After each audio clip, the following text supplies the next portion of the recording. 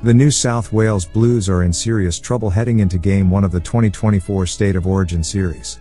Star players Nathan Cleary and Mitchell Moses are nursing serious injuries and both aren't expected to be in the squad.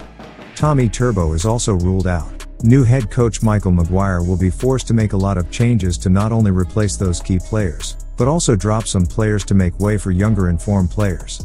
Here's my 2024 predicted Blues lineup I believe Coach Maguire will pick.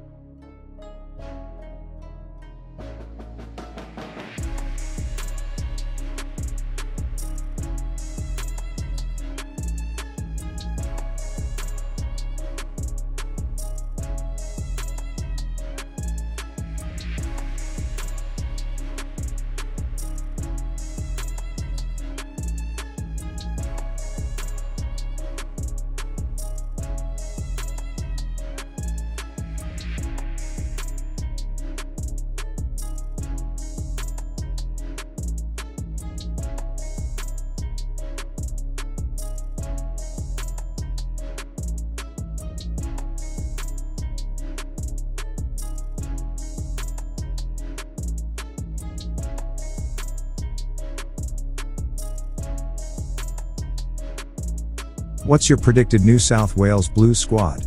Let me know your predicted lineup in the comments. Don't forget to smash the like button and subscribe to the channel for more of your daily dose of rugby league. Thank you.